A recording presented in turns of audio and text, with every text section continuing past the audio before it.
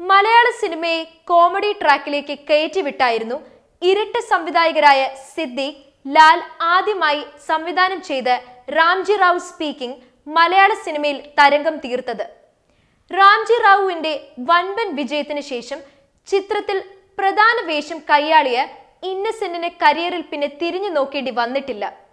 ആയിരത്തി തൊള്ളായിരത്തി തൊണ്ണൂറിൽ ഇരുപത്തിയഞ്ചോളം ചിത്രങ്ങൾക്കായിരുന്നു ഇന്നസെന്റ് ഡേറ്റ് കൊടുത്തത്.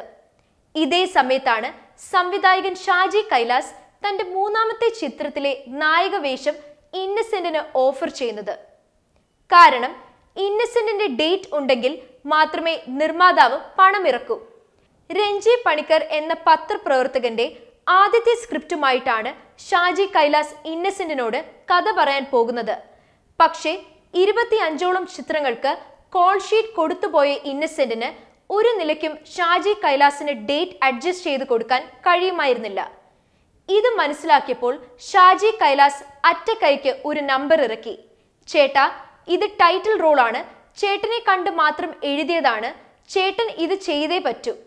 ടൈറ്റിൽ റോൾ എന്ന് കേട്ടപ്പോൾ ഇന്നസെന്റ് ഒന്ന് അയഞ്ഞു. ആട്ടെ എന്താണ് ടൈറ്റിൽ എന്നാണ് ഇന്നസെന്റ് തിരിച്ചു ചോദിച്ചത്.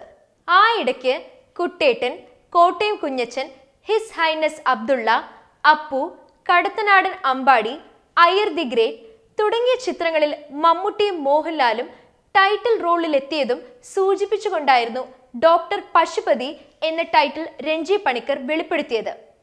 എന്നാൽ ഡോക്ടർ പശുപതി എന്ന title his highness doctor Pasupathi എന്നോ അതല്ലെങ്കിൽ ഡോക്ടർ പശുപതി ഗ്രേറ്റ് എന്നാക്കിയോ പരിഷ്കരിക്കണം എന്ന നിർദ്ദേശം കൊടുത്തായിരുന്നു ഇന്നസെന്റ് ഷാജി കൈലാസിന്റെ നായക വേഷം ഏറ്റെടുത്തത്.